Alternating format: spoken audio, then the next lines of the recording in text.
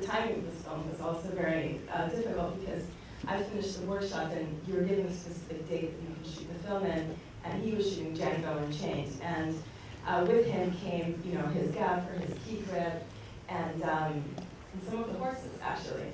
And, uh, and so we kept on, Django kept on pushing, and we kept on pushing our date in order to make the film possible. And uh, so, I mean, I had a spectacular crew. You know, I'm a cinematographer, so it was my 12 years with us as a DP, Bob's, you know, uh, relationships, and everything came together for this film.